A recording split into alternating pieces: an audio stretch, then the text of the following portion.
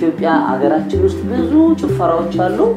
እነዛን ጭፈራዎች ከህዝቡ እየተማርኩ እንደገና ለሌሎች ሀገር ደግሞ የኢትዮጵያ ባህል ምን አይነት እንደሆነ አስተምራለሁ እና ደግሞ ዛሬ ዛሬ ደግሞ እናንተ ጋር መጥቼ እዚህ ተረት ተረት ላነብላችሁ ስለመጣው ስለጋበዛችሁ በጣም ደስ ብሎኛል።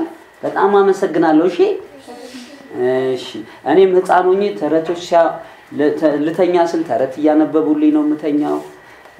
በቃ ያ ተረቱ ደስ እያለኝ እሱን እያሰብኩኝ እያሰብኩኝ በዛ በቃ ደስ ብሎኝ ነው እንቅልፍ የሚወስደኝ እና ዛሬ እኔም ደግሞ የማነብላችሁ ድር ቢያብር የሚል አንበሳና የሚያውቀዋል እንዴ?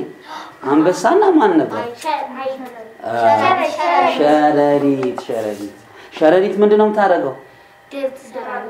እንዴት አድርጋ በእግሮቿና በእጆቿ ቆይ አሁን አነብላችኋለሁ። እሺ ይኸውላችሁ አሁን አንድ አንበሳና ሸረሪቶች ነበሩ። ከዛ አንድ ሸረሪት ትደንሳለች ዛፍ ላይ ድር ሰርታ ብቻዋን እየሰራች ትደንሳለች። አንበሳው ተኝቷል። ያንኮራፋ እያለ እንዲ እንቅልፋም ነው በእናታችሁ ተኝቷል። እሷ ስራ ስትሰራ እሱ ተኝቷል። ሁለት ሆኑ ሸረሪቶቹ። ሁለተኛዋ ሸረሪት ደግሞ አሁንም አብራት እያገዘቻት ድር ታድራለች። ምንድነው ቤት እየሰራች እኮ ነው። ዛፍና ዛፉ ላይ ቅጠልና ቅጠሉ ላይ ቅርንጭፍና ቅርንጫፉ ላይ እያደረገች ትሰራለች። አሁንም አንበሳው አሁንም እያለ ተኝቷል። ምንም አይሰማም። አይገርምም? ዝም ብሎ ይተኛል። ሰው ሲሄድበት ምናምን አይሰማም። ከዛ እንዴ ስንት ሆኑ? ሶስት ሆኑ። ሶስት ሸረሪቶች ይደንሳሉ።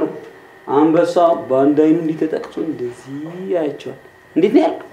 እስቲ እስቲ እስቲ እንደዚህ በል። እስቲ እንደዚህ በል። እስቲ በል። እስቲ እስቲ ያዝ አድርገው እንደዚህ አተኝቶ ምንድን ናቸው ምናምን ከዛ አሁንም አንበሳው ተነሳ። ወይኔ ጉዳቸው ፈላ። አንበሳ በጣም አንደኛ ኃይለኛ ጠንካራ እንስሳ ነው። በጣም ኃይለኛ ነው። አቤት ወይኔ ጉዴ ፈላ። ከያዛቸው በቃ ይገላቸው። አሁን አንበሳው ተንጠራራ። ፀሐይ ልሙቅ እስቲ ምናምን ይላል። በቃ ከእንቅልፉ ሲነሳ ይኸው እጁን ዘርግቷል። እነሱ ዝም ብለው ስራቸውን እየሰሩ ነው። ስንት ናቸው? ሶስት ሆነዋል። በቃ ቤቱን በጣም አጠንክረው እየሰሩ ነው። አንበሳው አለና አጉረመረመ አጉረመረመ። እነሱ ምንም ከፍ ብሎ ወደ ቅርንጫፉ ላይ ቁጭ ብለዋል። አሁን አንድ ሸረሪት ድሯን ይዛ ወደ ታች ተንጠለጠለች። ክሯን እንደዚህ ክሩን እያረገች ከዛ በኋላ ምን ይታያቸዋል? ሁለት ሸረሪቶች አላያቸውም። አንበሳው አንዷ መጀመሪያ ተጠቅልላበት ነበረ። ከዛ ሁለተኛዋ ተጠቅልላበት ነበር።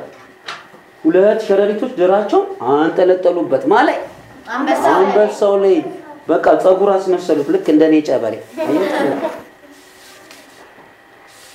ከዛ ከዛፉ አምጥተው ሶስት ሸረሪቶች ወይኔ ጉዱ ፈላ፣ ወይኔ ጉዴ ሁለት አሁን ሶስቱም ጠመጠሙበት።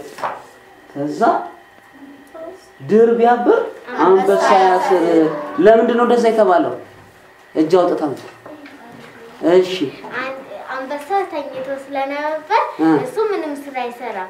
ሶስቱ ሰራዊቶች ግን ስለሚሰሩ ስራ ይጠቅማል ማለት ነው። እሺ ሌላስ? ሌላ ሀሳብ? እሺ አርሴማ እንዳለችው ስራ ስለማይሰራ አንበሳ እ ስራ እንዲሰራ እንዲ- ሊያስተምሩት አሃ ሌላስ?